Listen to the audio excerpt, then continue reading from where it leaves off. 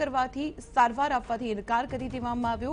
આ સમગ્ર મામલે મેયરે પણ હસ્તક્ષેપ કર્યો. નાયબ મુખ્યપ્રધાન નીતિન પટેલે પણ અ, જિગ્નેશ પટેલને સારવાર આપવા માટે આદેશ કર્યો હતો તેમ છતાં તેમના આદેશોને પણ ઘોળીને પી જનાર એસવીપીના સંચાલકોએ જિગ્નેશ પટેલને આઠ કલાક સુધી હોસ્પિટલની બહાર બેસાડી રાખ્યો. સહયોગી જિગ્નેશ પટેલને જે રીતે સારવાર નથી આપવામાં આવી એસપી એસપીપી હોસ્પિટલનો આ મૂળભૂત રીતે મુદ્દો હતો અને એસપીપી હોસ્પિટલમાં લગભગ આઠેક કલાક સુધી જિગ્નેશ પટેલને સારવાર ન મળી હતી.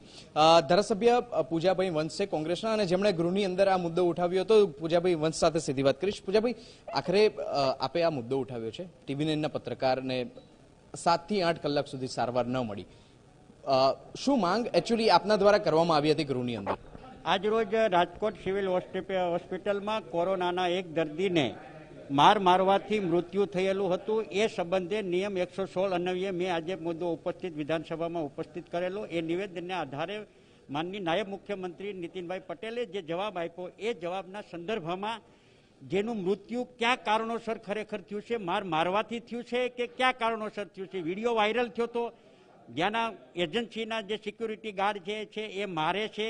દબાવે છે ગળું દબાવે છે આ બધા વીડિયો વાયરલ થયા પછી પણ સરકાર વાસ્તવિકતાને સ્વીકારવાને બદલે ગોળ ગોળ જવાબ આપ્યો અને મૃત્યુ કયા કારણોસર થયું છે તેનો જવાબ જ નથી આપ્યો. તે સંદર્ભે મારી પાસે જે વિગત મને મળેલી હતી કે તાજેતરની અંદર જિજ્ઞેશ પટેલ જે ટીવી નાઇનના પત્રકાર હતા અને એ પત્રકારને પણ કોરોનાના સંદર્ભે એસવીપી હોસ્પિટલની અંદર દાખલ થવા માટે ગયેલા અને આઠ કલાક સુધી એમને દાખલ ન કર્યા. મારી માહિતી મુજબ અમદાવાદના કોર્પોરેશનના મેયરે પણ દખલગીરી કરી. છતાં પણ એમને દાખલ કરવામાં ના આવ્યા. ત્યારબાદ રાજ્યના નાયબ મુખ્યમંત્રી નીતિનભાઈ પટેલે પણ દરમિયાનગીરી કરી એવી મને વિગત મળી છે. એમની દરમિયાન માનની મંત્રીશ્રીની પણ દરમિયાનગીરી હોવા છતાં પણ આ જિજ્ઞેશભાઈ પટેલને એસવીપી હોસ્પિટલમાં દાખલ કરવામાં નહોતા આવ્યા અને ત્યાર પછી એમને પ્રાઇવેટ હોસ્પિટલમાં દાખલ થવું પડ્યું હતું.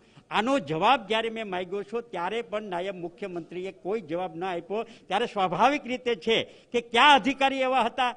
કે આઠ આઠ કલાક સુધી એને હોસ્પિટલમાં દાખલ કરવા માટેની તસ્દી પણ ન લીધી. પૂજાભાઈ, સવાલ એ જ છે કે નાયબ મુખ્યમંત્રી દ્વારા પણ સૂચના આપવામાં આવી હતી.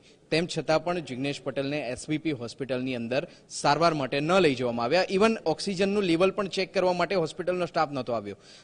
સ્થાનિક અધિકારીઓ છે, તેમનું કહેવું છે કે હોસ્પિટલ સ્ટાફ છે તે હડતાલ પર ઉતરી જશે જો જિગ્નેશ પટેલને સારવાર આપવામાં આવશે તો.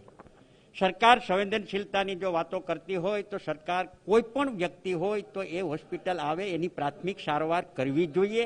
આ કિસ્સાની અંદર આઠ આઠ કલાક સુધી પ્રાથમિક સારવાર આપવાની પણ તજદી લીધી નથી. એમની પ્રાથમિક તપાસ કરવા માટેની પણ નથી લીધી. એટલે હું તો આપના માધ્યમ દ્વારા રાજ્ય સરકારને વિનંતી કરું છું કે આવું કૃત્ય જે કર્યું છે અથવા દાખલ ન થવા માટે જે વહીવટી તંત્ર કે જે અધિકારીઓ જે છે એની સંપૂર્ણ તપાસ કરીને જે જવાબદાર હોય એની સામે પગલાં લેવા જોઈએ. કદાચ એવું પણ સમજતા હશે કે જિગ્નેશ પટેલ એ કોઈ વ્યક્તિ નથી આતંકવાદી છે અને એ જ કારણોસર એની સારવાર ના કરાઈ હોય? સરકાર કદાચ માનતી હોય.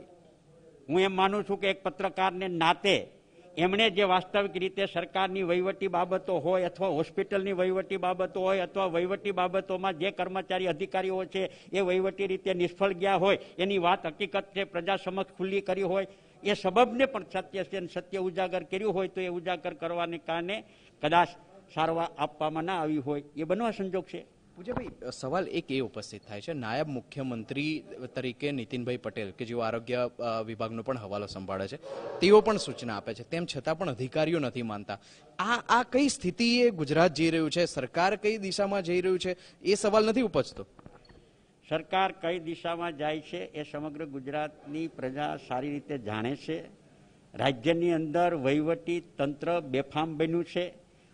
મંત્રીમંડળમાં જે કોઈ સભ્યો છે, એ સભ્યો સૂચનાઓ આપવા હોવા છતાં પણ તંત્રમાં બેઠેલા અધિકારીઓ એમની વાત સમજવા તૈયાર નથી અથવા માનવા તૈયાર નથી. આ આરોગ્ય એક વિભાગનો સવાલ નથી. રાજ્યના તમામ વિભાગોની જ આજ પરિસ્થિતિ છે. મુખ્યમંત્રી પણ સૂચના આપે અને નીચલી કક્ષાએ ન થાય. આ પ્રકારની સ્થિતિ ગુજરાતમાં છે. એટલે અંધેરી, નગરી, ગંડુ, રાજા, ટકેસર, ખાજા, ટકેસર, ભાજી. મંત્રી મંત્રી રાજનો જમાનો ગયો એમ કહેવા માંગો છો?